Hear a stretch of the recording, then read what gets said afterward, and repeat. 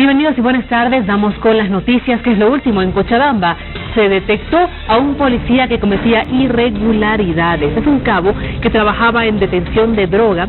Fue sorprendido cuando sustraía una maleta con 10 mil pesos argentinos de una pasajera que iba de Cochabamba a Santa Cruz. El oficial fue denunciado por una de las policías que al darse cuenta denunció el hecho a un superior y ahora el cabo está detenido en celdas policiales por el delito de sustracción.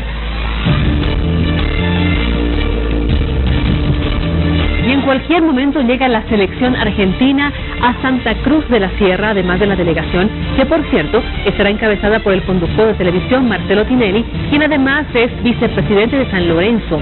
Tinelli es presentador, empresario, periodista deportivo, dirigente deportivo y productor argentino. Es actualmente vicepresidente del Club Atlético San Lorenzo de Almagro, fue vicepresidente de la Asociación de Fútbol Argentino y a su vez candidato a presidente de la AFA.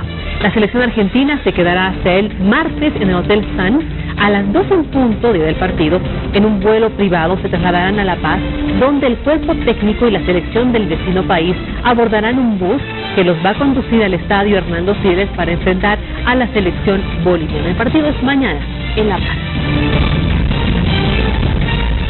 El tema que ha alarmado al mundo es que la moneda de oro más grande ha sido robada en la madrugada de este lunes en un museo de Berlín. La policía ha confirmado la desaparición de la pieza de 100 kilos de peso, 53 centímetros de diámetro y 3 de grosor.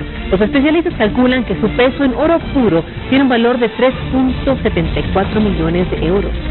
Es una moneda de un millón de dólares canadienses aunque su valor real es más alto. Fue acuñada por la Real Casa de la Moneda Canadiense el año 2007 y entró en el libro Guinness de los récords como la mayor moneda de oro del mundo y fue robada.